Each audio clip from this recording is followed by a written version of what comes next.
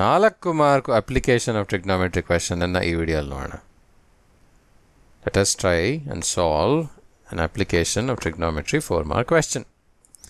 What is the question? Question ಓದೋಣ A tower and a pole stand stand vertically on the same level ground. ಒಂದು tower ಇದೆ ಒಂದು pole stand ಇದೆ It is observed that the angle of depression of top and the bottom of the pole, top and foot of the pole, from the top of the tower is 60 meter.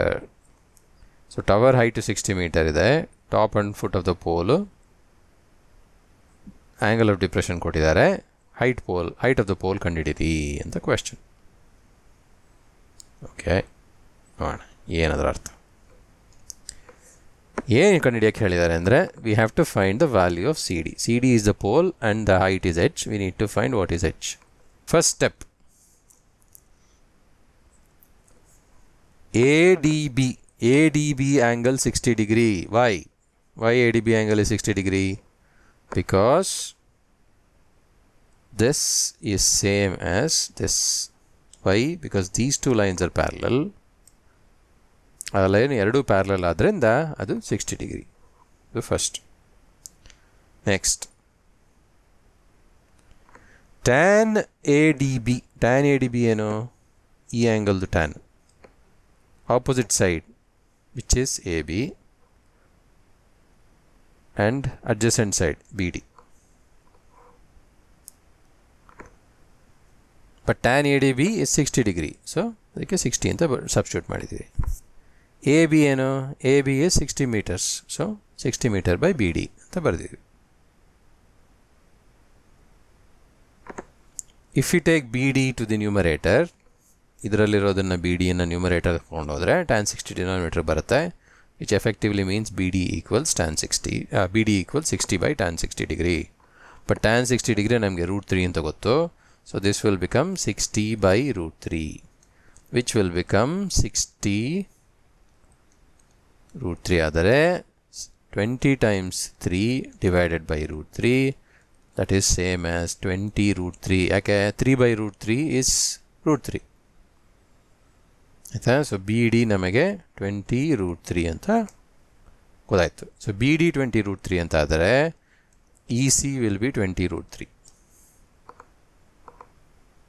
okay ಅದೇ ಇಲ್ಲಿ step ಮಾಡಿದ್ದೀವಿ. First sixty root three ಆಯಿತು B D ಆಮೇಲೆ B D twenty root three ಅಂತ prove ಮಾಡಿದ್ವಿ. Twenty root three ಅಂತ prove ಮಾಡಿದ್ಮೇಲೆ E ಸಿನ ಟ್ವೆಂಟಿ ರೂಟ್ ತ್ರೀ ಅಂತ ಪ್ರೂವ್ ಮಾಡಿದ್ವಿ.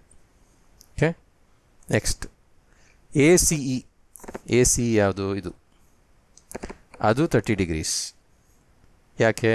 This line and this line are parallel so ಅದು ತರ್ಟಿ ಡಿಗ್ರಿ ಆದರೆ next tan A C E ನೋಡೋಣ. ಟ್ಯಾನ್ ಎ ಸಿ ಇ ಏನು? Tan A C E is A E by E C so A E by E C so A E by E C A E ಏನು? ಗೊತ್ತಿಲ್ಲ. E C ಏನು? ಗೊತ್ತು. Twenty root three okay tan A C ಏನು? Tan thirty tan thirty ಏನು one by root three so one by root three is A E by twenty root three ಅಥವಾ A E is twenty root three by root three which becomes twenty meters ಇದು twenty metre ಅದು twenty metre ಆದರೆ E B is forty meter E B forty meter ಆದರೆ H is forty metre ಅದನ್ನು step solve ಮಾಡಿದ್ರೆ tan thirty is A E twenty root three okay because ಗೊತ್ತಲ್ಲ, ನಮಗೆ E C ಗೊತ್ತು value ಆಮೇಲೆ A E is twenty root three into tan thirty which is same as twenty meters once we know A E which is twenty meters ಇದು twenty metre ಅಂತ ಗೊತ್ತಾದ ಮೇಲೆ we can calculate E B as forty meters E B forty meter ಆದರೆ C is forty meter